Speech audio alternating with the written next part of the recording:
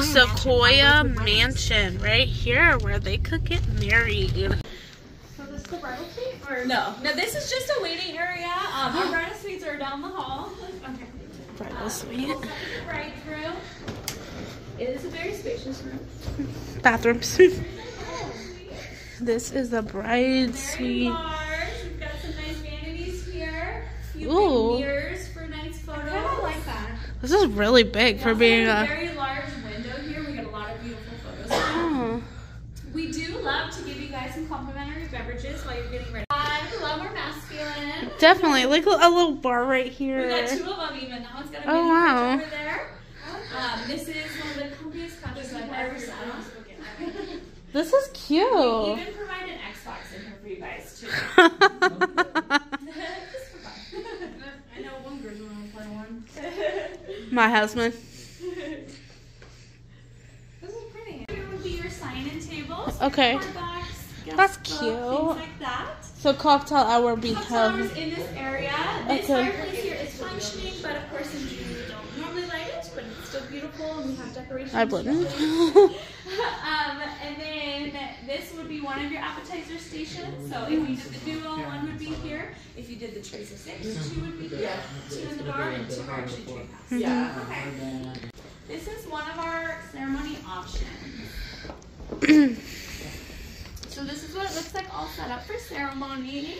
Um, we can actually fit up to 120 out here. So well within your guest count, your guest count would fit very comfortably out here. The pergola right there would be your arch. We can do florals or draping on that, and then your chairs on either side. Hmm. Um, this is one of our two outdoor spaces. If you chose our other out, go up Oh, sorry, I'm just.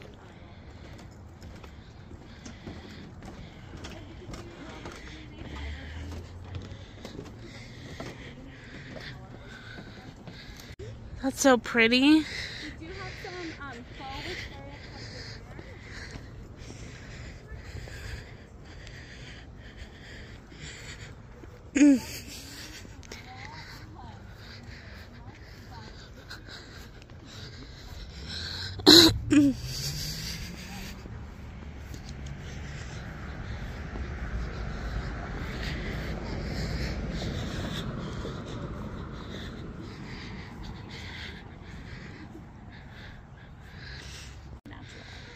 I really like that. What do you think? And then of course you have the backdrop Right there. It's so. Fun photos of it and everything. Now it's set for buffet. It's one of my favorite. But if you choose it for you would close those doors there, and you can provide an arch, or we have a white wooden arch that you're more than welcome to use. Um, and decorate. And then you have chairs on either side. You enter from this door here, go up the aisle to the front. Okay. And you can Okay. up to 90 in there. Okay. So still within your guest count. If we did do that, we would all around. Ooh. As you can see, we are setting up this case wedding. Ooh, someone having pink. And here he is fabulous. He is from uh, that styling company and the florist company I was telling you guys about. So he's setting up some decor right now. Okay.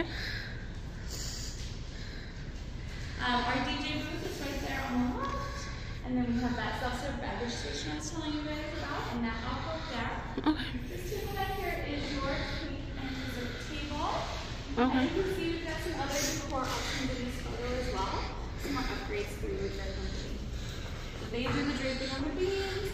They also do all the different colored backdrops. I like the draping. Mm-hmm. Do you like the draping?